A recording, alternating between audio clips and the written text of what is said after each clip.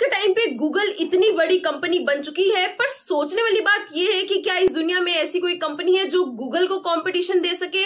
तो आज हम यहाँ पर बात करेंगे चैट जीपीटी की। ऑल ओवर इंटरनेट बहुत ही ट्रेंडिंग चल रहा है, पर होता क्या है? चैट जीपीटी एक आर्टिफिशियल इंटेलिजेंस सॉफ्टवेयर टूल है जो आपके किसी भी सवाल का आंसर एक बहुत ही रियलिस्टिक वे में दे सकता है। ह्यूमंस की तरह आंसर करता है, फिर चाहे आपका क्वेश्चन कितना भी लंबा या मुश्किल क्यों ना हो। स्टूडेंट्स के लिए खासतौर पर आने वाले समय में ये बहुत ज़्यादा बेनिफिशियल रहेगा, क्योंकि आप कोई भी क्वेश्चन इसमें सर्च कर सकते हैं और ना सिर्फ़ ये, आप चैट जीपीटी के थ्रू पैसे भी कमा सकते हैं, क्योंकि चैट जीपीटी में बहुत सारी ऐसी वेबसाइट्स है, जैसे कि tutor dot com one class और टॉपर जिसमें आप दूसरे स्टूडेंट्स का होमवर्क करके पैसे भी कमा सकते हैं। Other than this AI tool में content writing blog writing caption writing जैसे फीचर्स भी अवेलेबल है।